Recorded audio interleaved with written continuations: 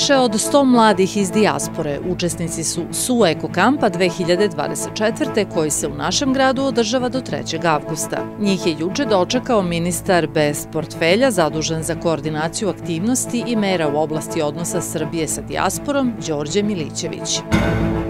Pored sredstava koje grad Subotica izdvaja za oko 4600 mališana koji pohađaju prečkolsku ustanovu Našu radost, od prošle godine iz gradskog budžeta izdvajaju se sredstva i za subvencionisanje boravka dece u sedam verifikovanih privatnih vrtića.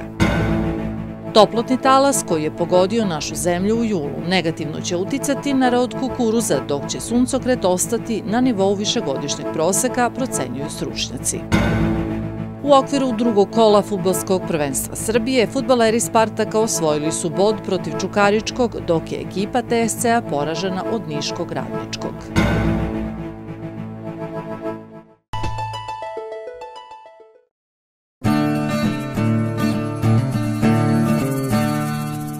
Kade i tuš kabine vaših snova. Sve za vaše kupatilo.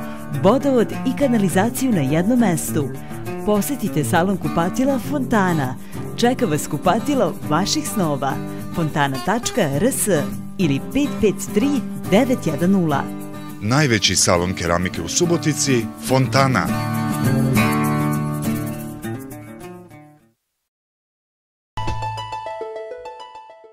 Dobroveče, poštovani gledalci. Moje ime je Jasmina Tatić, a vi pratite Infoblog u Eko televizije. Više od 100 mladih iz dijaspore učesnici su SU Eko kampa 2024. koji se u našem gradu održava do 3. avgusta. Njih je juče dočekao ministar bez portfelja zadužen za koordinaciju aktivnosti i mera u oblasti odnosa Srbije sa dijasporom, Đorđe Milićević. Naš grad je među 22 lokalne samuprave u kojima se ovog leta pod pokroviteljstvom kabineta ministra bez portfelja zaduženog za koordinaciju aktivnosti i mera u oblasti odnosa Srbije sa dijasporom organizuju tematski kampovi za 5000 dece i mladih od 15 do 25 godina srpskog porekla. Učesnici kampa u Subotici, koji ima ekološki karakter, su deca i mlade iz Francuske, Rumunije, Bosne i Hercegovine i Srbije sa Kosova i Metohije. Ja sam prvi put na eko kampu, a neki od mojih drugara, drugi i treći, Sve više nas je u ovim kampovima.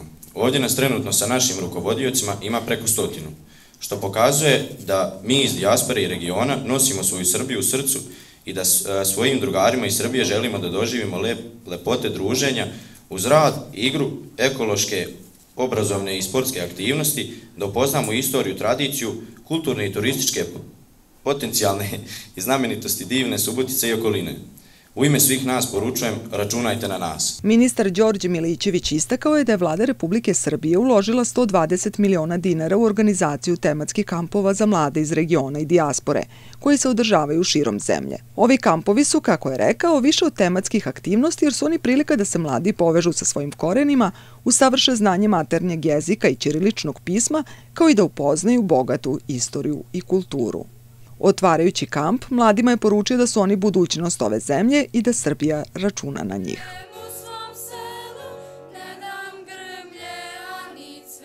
Vi kada dođete u Srbiju, vi ste ovde svoj na svom. I uvek treba da znate, mi smo isti narod. I ja sam uvek za vas imao samo jednu molbu.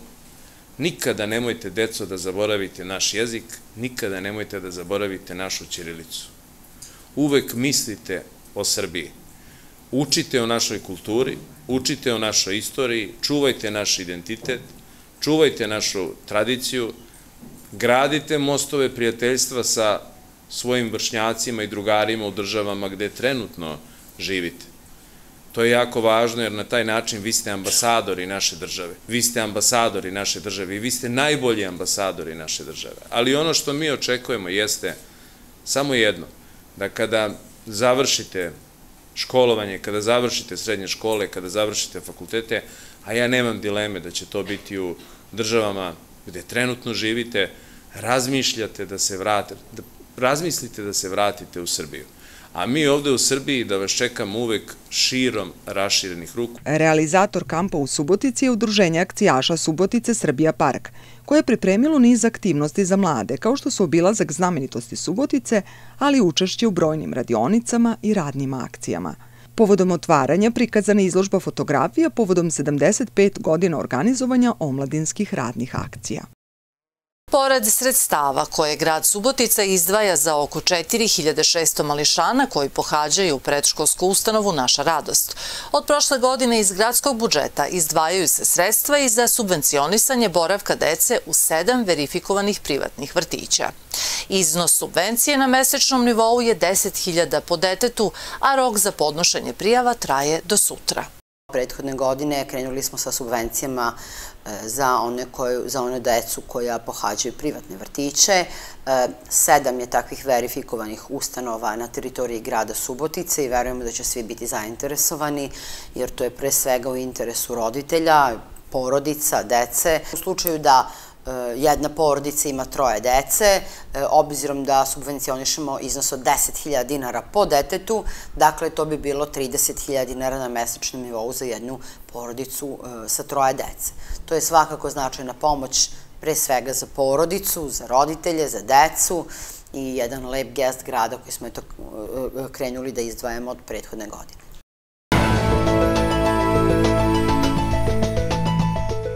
Toplodni talas koji je pogodio našu zemlju u julu negativno će uticati na rod kukuruza, dok će suncokret ostati na nivou višegodišnjeg proseka, ocenjuju stručnjaci.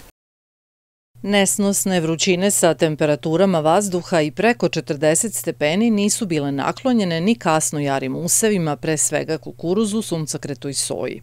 Biljke su izgorele jer nije bilo dovoljno vlage u zemljištu u pojedinim delovima Atara, objašnjava direktor Poljoprivredne stručne savetodavne službe Subotica Damir Varga. Tu su kukuruzi izdržali i dočekali ove prethodne padavine od nekih 30 do 40 litara, tako da tu će biti otprilike prinosi nešto malo bolji, znači može se očekivati u negde možda i 7-8 do 9 tona na pojedinim parcelama prinosi, a tamo gde nije bilo dovoljno vlage doći će do podbačaja, tako da ćemo imati parcela gde će prinosi biti vrlo mali, možda tonu i po do dve kukuruza po hektaru, a na nekim parcelama znači će to biti 3 do 4 tone, ali otprilike neki prosek Subotičke opštine mogao da bude oko, oko 5 tona, što je vrlo nezadovoljavajuće. Kada je suncokret u pitanju, u prethodne padavine će malo pomoći nalivanje zrna, pa bi rod ove kulture trebalo da bude na nivou višegodišnjeg proseka. Očekujem da će biti ostvaren neki prosečni prinos suncokreta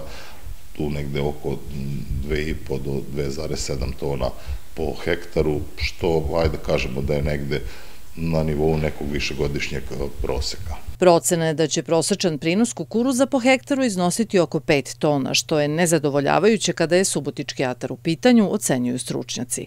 Kada se radi o suncokretu, predviđanja su da će prosečan prinos iznositi oko 2,5 do 2,7 tona po hektaru, što je na nivou višegodišnjeg proseka.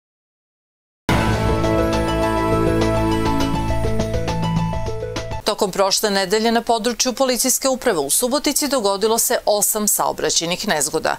U tri saobraćene nezgode jedna osoba je teže povređena, tri osobe su lakše povređene, dok je u pet saobraćenih nezgoda pričinjena samo materijalna šteta. Policija je podnela 67 zahteva za pokretanje prekršajnog postupka, izdato je 1100 prekršajnih naloga i saobraćaja je isključeno 46 vozača, od kojih je za 9 vozača određena mera zadržavanja zbog teške ili potpune alkoholisanosti. U toku protekle nedelje pripadnici odeljenja za vanredne situacije u Subotici imali su 21 intervenciju.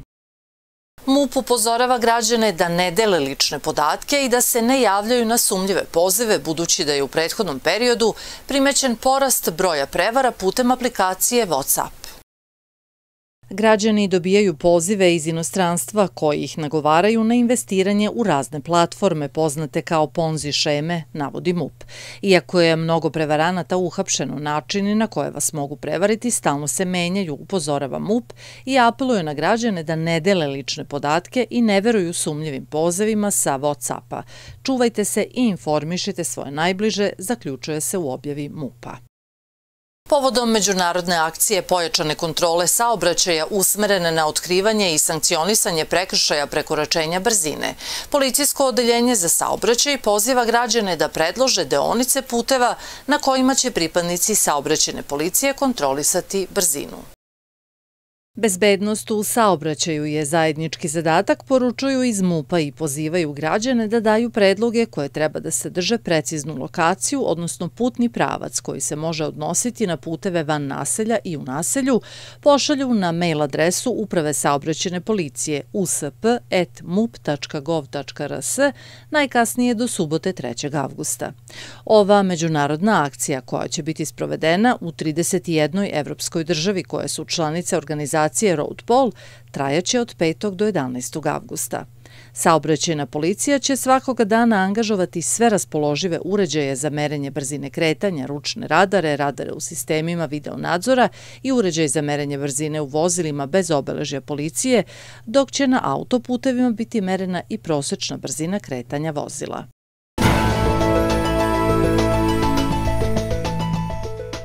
U okviru drugog kola futbolskog prvenstva Srbije, futbaleri Spartaka osvojili su bod protiv Čukaričkog, dok je ekipa TSC-a poražena od Niškog radničkog. Odigrane su utakmice drugog kola futbolskog prvenstva Srbije. Futbaleri Spartaka igrali su protiv sastava Čukaričkog. Utakmica se igrala na terenu u Senti. Susret se završio nerešenim rezultatom 1-1. Mihajlo Bogićević postigao je gol za Spartak. Futbaleri TSC-a svoj meč drugog kola igrali su na gostovanju protiv Niškog radničkog. Izgubili su 1-0. U narednom trećem kolu TSC dočekuje Spartak. Na Subotičkom hipodromu održane su konjičke trke, odnosno kasačka nadmetanja, posvećena kraju žetvenih radova. Trka dana bila je dužijanca koja datira još iz 1968. godine. Olimpijske igre su sportski događaj u celom svetu. Iako su naši sportisti imali priliku da se domognu medalje, u prvim takmičarskim danima to se još nije desilo. Odbojkaši Srbije počeli su svoj olimpijski put. U prvom kolu poraženi su od domaćina Francuske, Posle pet odigranih setova, izabranici Igora Kolakovića u susretu sa igračima Francuske u prvom setu su igrali bez greške i zasluženo su došli do vodstva od 1-0 u setovima. Zatim su naredna dva seta pripala igračima Francuske koji su preokrenuli rezultat u svoju korist od 2-1. U četvrtom setu igrači Srbije nisu se predavali i zasluženo su došli do izjednačenja u setovima. U završnici seta Subatičanin Kujundžić bio je nepogrešiv. Od prvog poena u petom setu Francuzi su bili ti koji su kontrolisali rezultat, dok su igrači Srbije napravili nekoliko grešaka i pobedu je odneo domaći tim. U narednom drugom kolu izabranici Igora Kolakovića sastaće se sa ekipom Slovenije.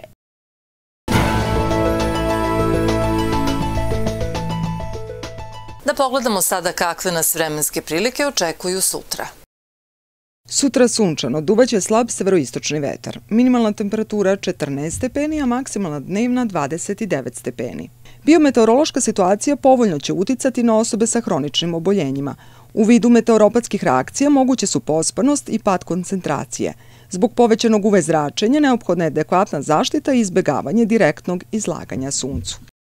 Na kraju još jednom najvažnije vesti.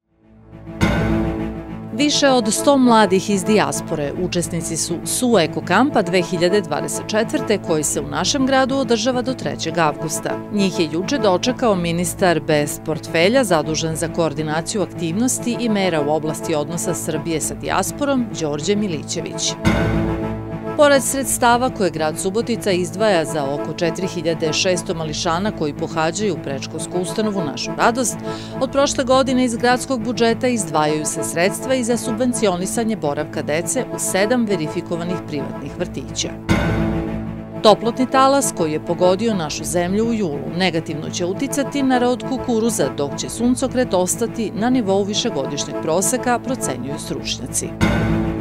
U okviru drugog kola futbolskog prvenstva Srbije, futbaleri Spartaka osvojili su bod protiv Čukaričkog, dok je ekipa TSC-a poražena od Niškog radničkog. Bio je ovo Infoblog. Hvala na pažnju, ostanite dalje uz naš program.